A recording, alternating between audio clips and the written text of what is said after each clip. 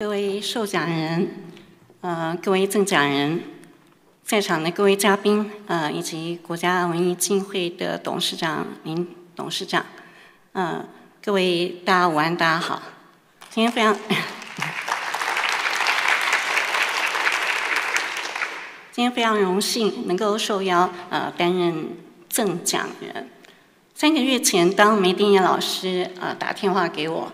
希望我能够呃担任这个工作的时候，那一刻我真的是又惊又喜，啊，惊讶的是啊，终于知道，呃，算是一辈子的知知音吧，啊，然后另外一方面又很呃这个开心，开心的原因是因为不管如何，这三分钟都是艺文界最重要的时刻。但是，一放下电话，其实我就开始惶恐。这样子诚惶诚恐，一直到现在，啊，为什么呢？因为主办单位国家文艺基金会说，无论如何就只有三分钟，三分钟一百八十秒的时间，我们怎么可能说尽？呃，一位创作者用尽他毕生的生活经验、生命经验。以及面对大历史、个人历史、家国，甚至针对其他的这个种种的零零总总的一切，做的从感受、经验一直到回应呢？所以，呃，无论如何，我只好硬着头皮带着小抄 来跟大家做一些这个分享。俗话都说啊，这个。台下三分，台上三分钟，台下十年功。但是事实上这是真的吗？其实梅定老师花了整整的五十年，才走到这个台上啊。所以嗯，今天我们只能说，自从这个一九七七年他获得一个呃这个奖项之后，从一九八零年获得雄狮新人奖。你要等到二零二四年才得到国家文艺奖的肯定，其中当然非常幸运的，他也在这个十每隔十几年的时候会得到台新文化呃台新艺术奖，或者是呃这个吴三连奖的这个肯定，但是其中的过程背脊的艰辛，其实并不是我们呃能够想象的。所以去年当我们在呃。征询他是不是愿意接受提名的时候，其实心里是非常非常的忐忑。那因为大家都知道梅丁老师不好搞啊，但是我必须要说，其实最难搞的应该是他自己面对自己的这一部分。也许吧，也许运气非常的好啊，因为今年刚刚满七十岁的梅丁老师。从这个六十多要跨七十的时候，六十而耳顺的时候，接到大家的这个祝福，所以他在七十呃从心所欲的时候，就欣然接受了这个奖项。呃，那嗯，要不然的话，其实梅定老师很有趣的，就是说他在一九五四年出生啊，所以刚好今年的这个呃状况会非常的有意思，因为他就是在呃。国共内战之后，战后出生的第一代，然后他在这个求学的过程当中，刚好遇到台湾最风雨飘摇的七零年代。一九七一年，呃，这个退出联合国；一九七八年，中美断交。然后呢，他在这个呃前往美国求学之后，回来台湾的就呃，对不起，就遇到了这个解严的年代。啊，所以，嗯，从个人到家国到国族，从他把这个艺术跟政治做一个这个叠合，从观念到灵感，理性到感性，其实他做的就是我们最基本的这个工作。因为其实我很难替他说什么，我只能说，今天我们呃面对明天老师毕生的这个创作。我们可以看到他怎么样把各种的这个文本啊变成文脉，英文的这个文脉这个字，所谓的 context，就是基于如何把文本变成文脉。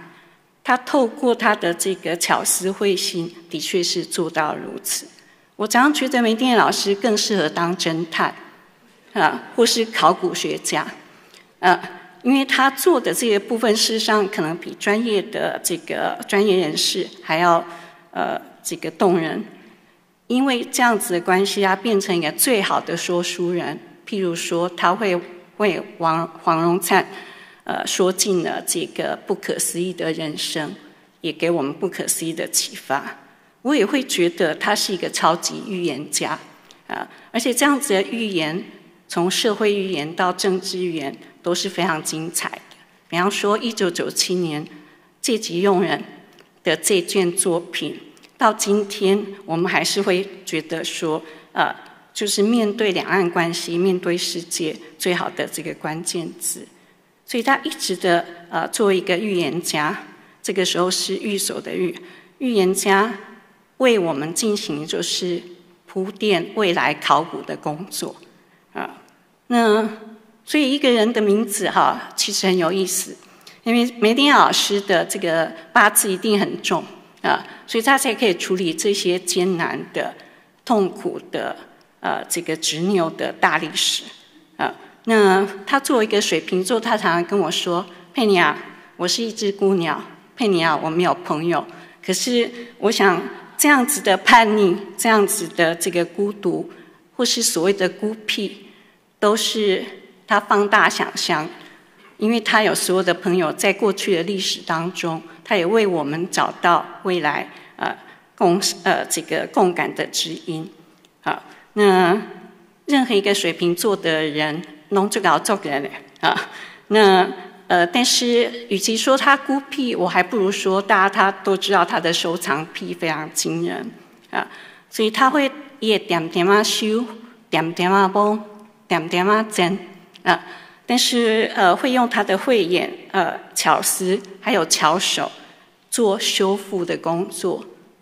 只是说这样子修复是用什么样的方式来进行？有的时候是缝补。有的时候是叠合，有时候是嫁接。无论如何，都是一场温柔的革命。梅丁眼心中的这个呃，也许有愤怒，有有呃，也许有悲哀，呃，也许有这个呃，这个冰斗这样子的冲动。但到最后的结果，他进行的就是一次又一次温柔的这个革命。嗯，所以他的名字很有趣。我记得第一次这个我跟长辈提到梅丁老师的名字，那三十多年前，耳背的长辈说没心眼。嗯，我是说没有没有没有，梅丁老师是最有心眼的这个一位艺术家了。啊，那但是大家也是明白他是非常乐色寡言笑的这个部分啊。那其实我心里一直都觉得他是呃二十跨二十一世纪艺术界最大的呃最重要的型男，啊，嗯，大家一看到他就会想到 Johnny Depp，强尼戴普吧，好，那如果如说这个《论语》子夏啊，孔子的呃使者弟子之一的子夏，他说的这个呃话。是经典的话的话，那我这里这个呃摘要一下。他说：“这个君子有三变，望之俨然，及之也温，听其言也利。”这个就是眉顶眼吧？我们可以看到他望之俨然的部分，他的庄重，他的庄严。可是，一旦你跟他亲近了，你可以看到他的温文尔雅，他的温和。可是，当你听他在描述事情，在传授呃知识，特别是在看他的作品的时候，那样子的凛然，那样子的严正，是永远不可能被轻忽漠视而不深刻的。外圆内方，以小博大，审时度势。也许大家会认为这是他种种的这个变异，其实君子无变啊。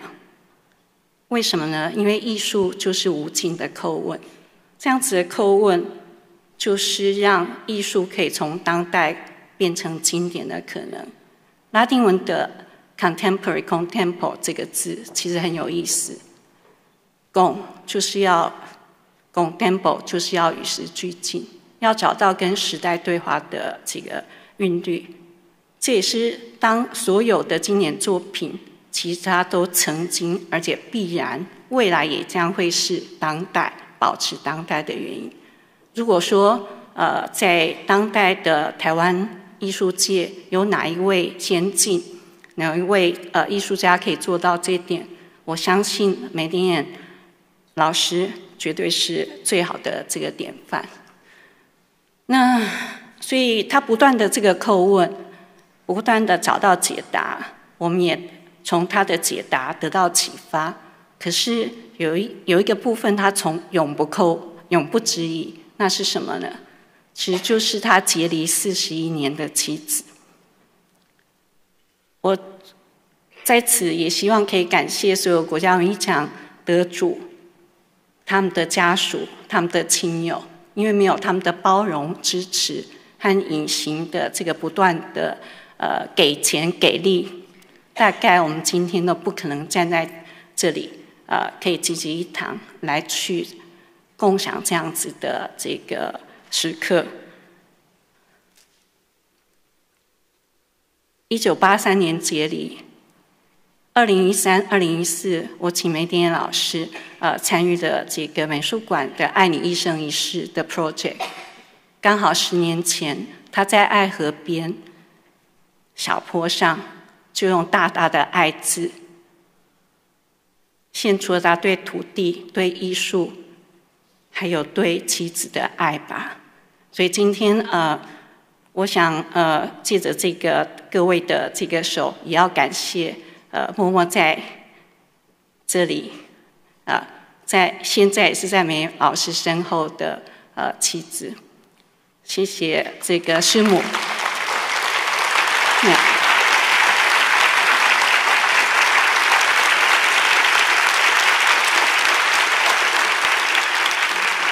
好的，那个其实我我是得到一点特权，因为我在进场的时候，工作人员特别跟我说，今年因为很奇怪，这个得奖组比较少啊，所以这个老师你可以多讲一点啊。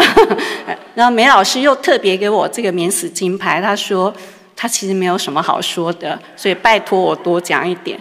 好，谢谢大家，容许我。谢谢谢佩妮女士。